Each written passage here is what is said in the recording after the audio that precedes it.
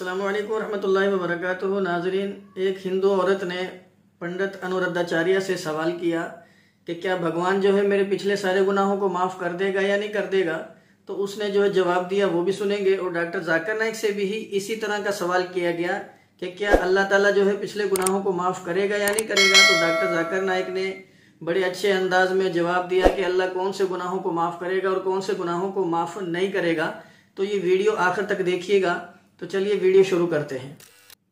आज जो कलश यात्रा आई है तो आपने बताया कि सो यज्ञों का उसका फल है। तो इसका मतलब ये है कि जो मेरे जीवन में अनजाने में कहीं कुछ पाप हुआ तो आज वो सारे पाप मिट गए? हाँ एक शर्त पर। सही है। एक और शर्त पर कि आप आगे से अब से आगे कोई पाप ना करें तो अभी तो। के तो मिट गए ना पूरे? हाँ बिल्कुल। हाँ, और जैसे संत बड़ा है कि पापी बड़ा है सर। क्योंकि जो पापी लोग रहते हैं जीवन भर पाप करते हैं अंत समय उनके मुख से सिर्फ़ राम कृष्ण कुछ भी वर्ड निकल जाए भगवान का तो उनको सीधा वैंकुट धाम मिल जाता है। और जो साधु लोग रहते हैं जो ये जीवन भर तपस्या पाठ पूजा करते हैं तो उन अंत समय में कुछ पाप हो जाए तो उनको पश्चाताप करना पड़ता था। ऐसा क्यों? तो फिर पापी बड़ा है कि संत बड़े हैं। और मैंने देखा है जीवन में जो भगवान में आस्था रखते हैं उनको परीक्षाओं से बहुत गुजरना पड़ता है। और जो नास्तिक रहते हैं तो उन्हें जीवन में इतनी परीक्षाओं से गुजरना नहीं पड़ता है। ऐसा क्यों? तो भगवान में आस्था रखे तो परीक्षा से इतना गुजरना पड़ेगा।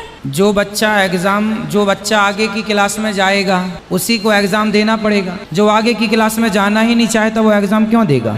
आप बताओ। जिसे बारहवीं के बाद कॉलेज में जाना है या दसवीं के बाद ग्यारहवीं में जाना है उसको तो एग्ज़ाम देना पड़ेगा। अब जैसे जाने नहीं वो एग्ज़ाम देगा?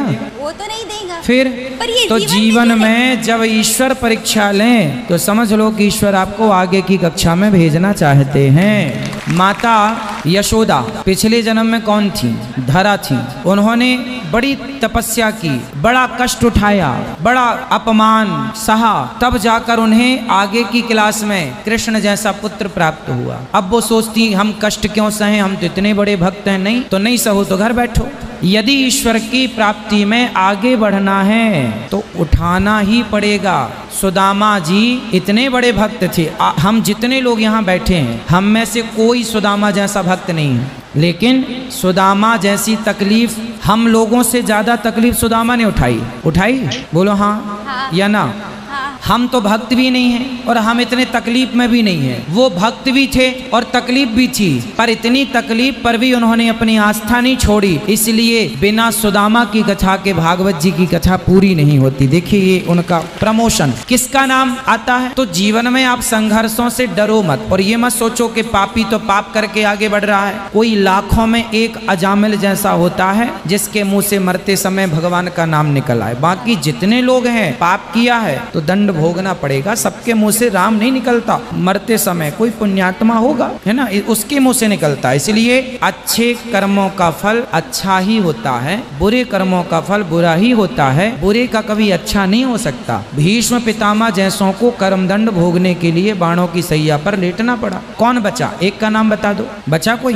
कंस बचा, रावण बचा कि दुर्योधन बचा? धाम तो मिल गया था, अंत भाई, धाम तो मिलेगा, पर अपयश तो मिला, रावण को धाम तो मिल गया। आज तक उन्हें गली गली पुतला जलाया जाता। आप समझ रही हो मेरी माँ, मेरी बहन? सबसे बड़ा सम्मान है सम्मान, सबसे बड़ा यश सम्मान, अपमान सबसे बड़ा पाप है। मरने के बाद, चलो जीते जी कोई अपमान करे मेरा तो समझ में भी आता है। पर मरने के बाद अपमान हो, इससे बड़ी दुर्गति क्या होगी? इसलिए पांडवों को सम्मान, जीते जी भी मिला। मरने के बाद भी सम्मान मिलता है, लेकिन दुर्योधन को जीते जी धन में जुआ खेल के हड़पना तो चाहा, पर अपमान मिला, और अभी भी अपमान। कौन दुर्योधन को अच्छा कहता है? आज तक किसी बाप ने अपने बेटे का नाम दुर्योधन नहीं रखा। किसी बाप ने अपने बेटे का नाम रावण नहीं रखा। तो अपमान से बड़ा दंड क्या होगा? इसलिए ये मत कहो कि उनको मोक्ष मोक्ष तो मिल गया, रावण का मोक्ष हो गया, लेकिन अपमान अभी तक है। इसलिए भगवान की शरण में रहो, वो ज़्यादा अच्छा है, और सुख दुख तो सबके जीवन में, उतार चढ़ाव है, रहेगा ही रहेगा। आपका सवाल है कि इस्लाम में सारे गुनाह की माफ़ी है शिर की नहीं। कत्ल करता है, माफ़ी है, जिना करता है, माफ़ी है शिर की माफ़ी क्यों नहीं? आप कुरान मजीद के बारे में ज़िक्र कर रहे जो सूर्य निशा में है, सूरह नंबर चार, आयत नंबर 48 और आयत नंबर 116 इन दो आयतों में सूर्य निसा, सूरह नंबर चार के लिखा है कि अगर अल्लाह चाहे तो कोई भी गुनाह को माफ़ कर सकता है, लेकिन शिर को कभी नहीं माफ़ करेगा। क्योंकि जो शिर किया है, वो बहुत भटक चुका है, बहुत भटक चुका है। तो इसमें यह नहीं लिखा है कि अब जिना करेंगे तो माफ़ करेगा ही, कर सकता है। अगर आप तोबा करेंगे तो अगर आप तोबा करते कि मैंने जिना किया हूँ, मैंने कत्ल किया हूँ, मुझे माफ़ी कर, मुझे माफ़ कर दे और इंशाल्लाह मैं आइंदा नहीं करूँगा तो अल्लाह माफ़ करेगा। उसी तरीके से शिरक भी। अगर आप शिरक करते हैं और अल्लाह से माफ़ी मांगते हैं, क्या मैं अगले बार शिरक नहीं करूँगा? तो अल्लाह शिर को भी माफ़ कर सकता है। लेकिन शिर के हालत में मरेंगे तो माफ़ी नहीं। आप मुशरक जैसा मरेंगे। शिर करते हुए मरेंगे तो माफ़ी नहीं। अगर आपने शिर किया, लाइक आज आप देख रहे हैं, कल भी, परसों भी, कितने गैर मुस्लिम बुत परस्ती करते थे शिर करते थे, मूर्ति पूजा करते थे, अभी मुस्लिम बन गए। अल्लाह ताला बेशक माफ़ करेगा। और जिस दिन आप इस्लाम कबूल किए, आपके पिछले गुना सारे माफ़ आपका स्लेट क्लीन मैं मैं माशाल्लाह अभी छियालीस साल का हूँ। अच्छे काम करता हूँ, इंसान हूँ गलतियाँ भी करता हूँ। आप अगर इस्लाम कबूल करे, आपका स्लेट क्लीन मेरे तो स्लेट में तो काफ़ी चीज़ ऊपर नीचे है। अगर आप इस्लाम कबूल करे तो अल्लाह के रसूल फरमाते, आपके सारे गुनाह माफ़। स्लेट इज़ क्लीन तो आप एक साफ़ सुथरे मुसलमान बनते। इसके बाद हिसाब किताब शुरू होगा। तो अगर आप मूर्ति पूजा करते थे,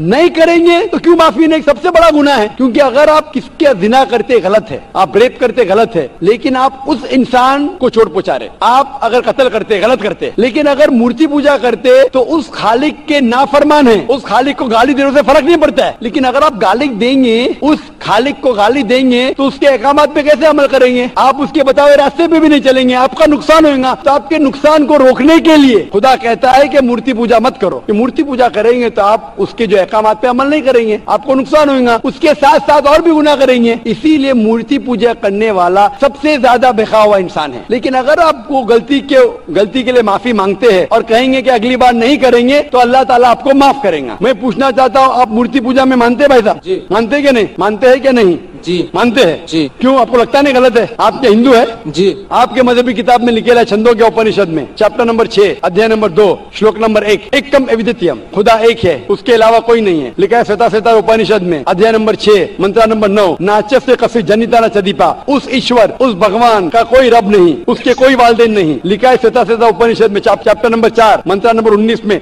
न तस्य प्रतिमा अस्थि उस ईश्वर उस भगवान की कोई प्रतिमा नहीं। कोई अक्ष नहीं। कोई पिक्चर नहीं। कोई पेंटिंग नहीं कोई फोटोग्राफ नहीं कोई मूर्ति नहीं कोई बुत नहीं लिखा है यजुर्वेद में चैप्टर नंबर बत्तीस वर्ष नंबर तीन में, मंत्रा नंबर तीन में, न तस्य प्रतिमा अस्थि उस ईश्वर, उस भगवान की कोई प्रतिमा नहीं कोई अक्ष नहीं कोई पिक्चर नहीं कोई पेंटिंग नहीं कोई फोटोग्राफ नहीं कोई बुत नहीं कोई मूर्ति नहीं तो साफ़ तौर पे कई जगह आप हिंदू की मजहबी किताब में लिखा है कि मूर्ति पूजा गलत है तो क्यों आप मूर्ति पूजा करते? भाई साहब जी इस बारे में मुझे सही तालीम नहीं है मुझे तो थोड़ा आपका- वक्त चाहिए। मैं इतना इतने हवाले दे रहा हूँ कि आपको लगता है कि मैं फेंकते जा रहा हूँ। हवाले के हवाले दे रहा हूँ। आप नोट कीजिए। जी। आप लाइब्रेरी में जाइए। आपको वेद नहीं मिलता है तो हमारी लाइब्रेरी में जाओ इस्लामिक रिसर्च फाउंडेशन हमारे इस्लामिक रिसर्च फाउंडेशन में आपको वेद का तर्जुमा मिलेगा महाभारत का तर्जुमा मिलेगा भगवत गीता के कम अज कम तीस तर्जुमे मिलेंगे। बाइबल मिलेगा बाइबल का तर्जुमा मिलेगा कुरान का तर्जुमा मिलेगा हदीस का तर्जुमा मिलेगा। मैं नहीं जानता हूँ कहीं भी हिंदुस्तान में इतने मजहबी किताब का तर्जुमा मौजूद है। इस्लामिक रिसर्च फाउंडेशन में फ्री लाइब्रेरी एयर कंडीशन में बैठो